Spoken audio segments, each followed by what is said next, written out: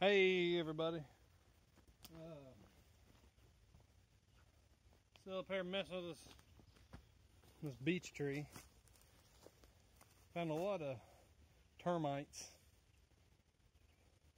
in that piece that was laying right here. Which I got you guys up on the the holder. But uh, I ain't gonna I don't I ain't for what little bit of wood it would be, I I don't want to be messing with termites, so just kind of shoved it off to the side here, and I'm gonna see what we got. Got a decent log up here. I need to check these couple right here, but uh, I'm gonna go ahead and see how bad I can get my saw pinched in here, and it's all, you know, as you can see, it's all split apart. So, like I said, we'll see how bad we get saw pinched.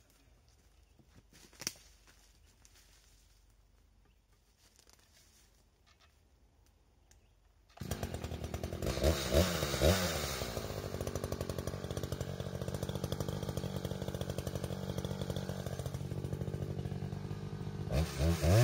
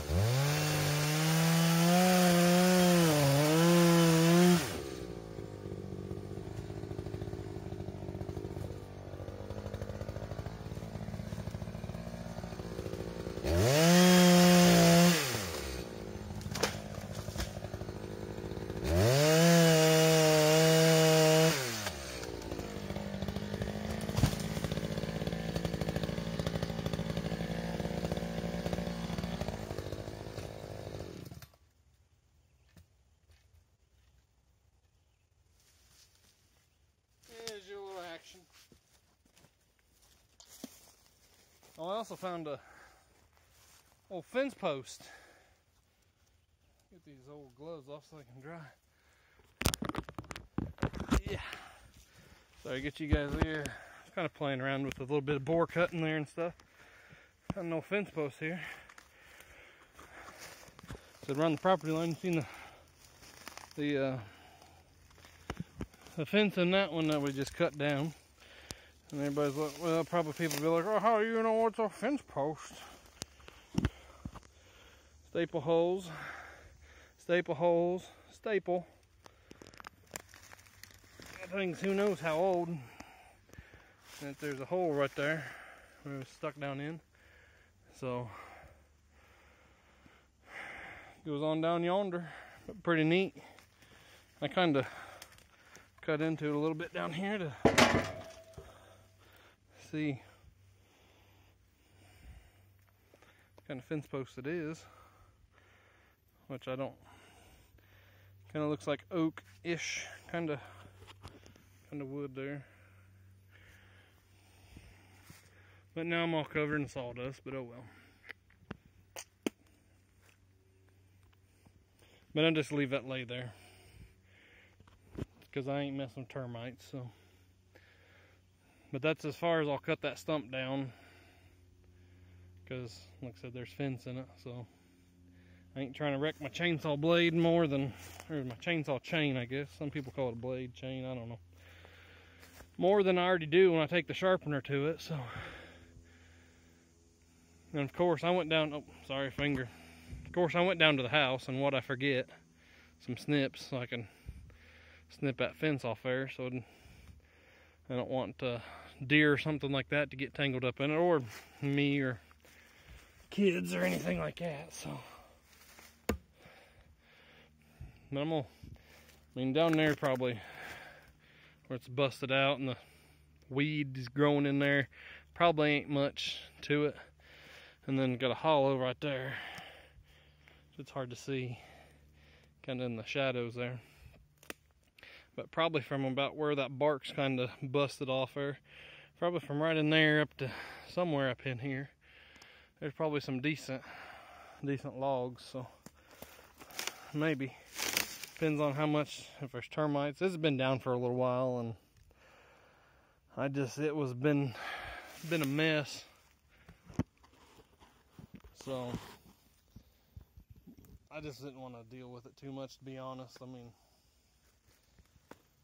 some of the little limbs have kind of rotted away so.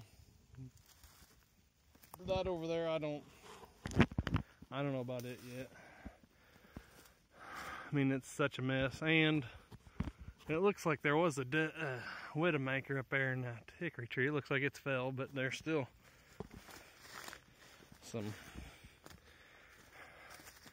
You see all them widowmakers up there you got that big one right there, that curve, that kind of curved one. That one's just like this one right here is just kind of laying up against there.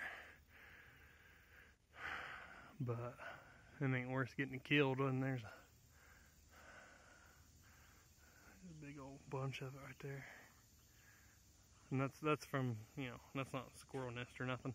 But it ain't worth getting killed for a little bit of firewood. Hickory nuts are falling, I don't know.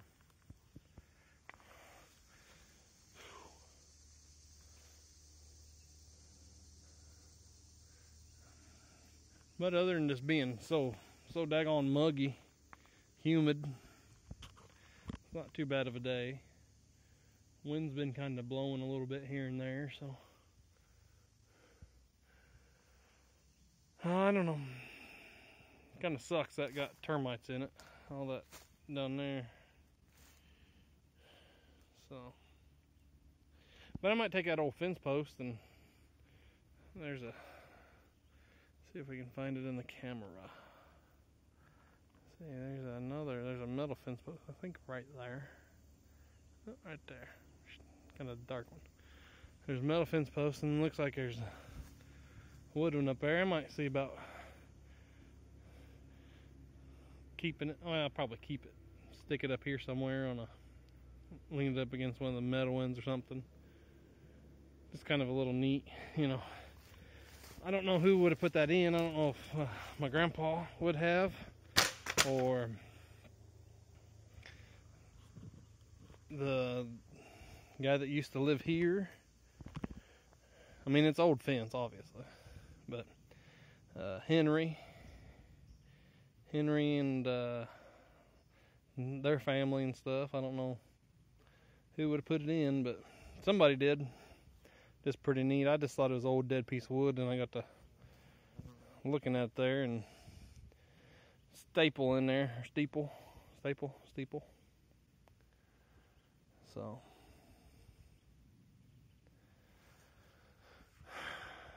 But yeah, might run around there and see about that hickory tree. I don't know if I want to keep fooling around with this. My knee's been kind of bothering me a little bit.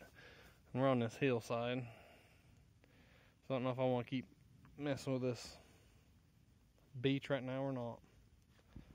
Got some hickory, like I said, up there.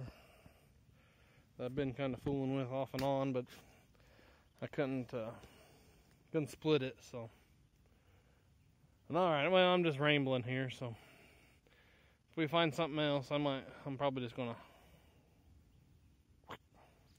take this baby down. I might bring the trail up here more, I don't know. Bring it, if I get, come straight, straight through here. Kind of where the log splitter setting, kind of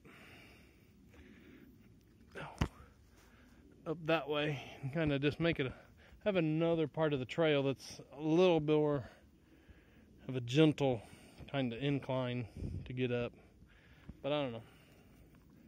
Too many things to do and not enough time to do it. So, but all right, I'll quit yakking and I'll thank you guys for watching. And you can hit the like and subscribe if you want to. So. Get this, get the holder off here it'll stand by. Yeah, I forgot the snips and the and the tripod thing, so stick it back up here. I got a got a bunch of junk on here. This here four wheeler. Well, it's not so much. I got a, a knife for if I always got one in case something would ever happen. Oh. Little knife there. First aid kit. Just, you know, basic band-aids and stuff like that. Got some bee sting, a little, you smash them and you put them on there. Tourniquet for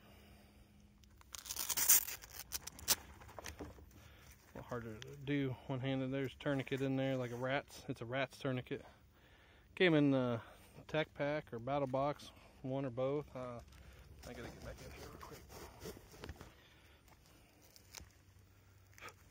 And a little pair of scissors to go with the tourniquet and the tourniquet little pouch thing there.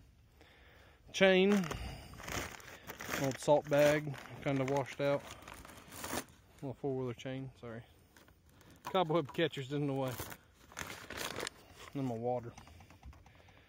Thermos water. Got a couple ice cubes in there. But yeah, I think I'll call it call it for for now on this beech tree. So.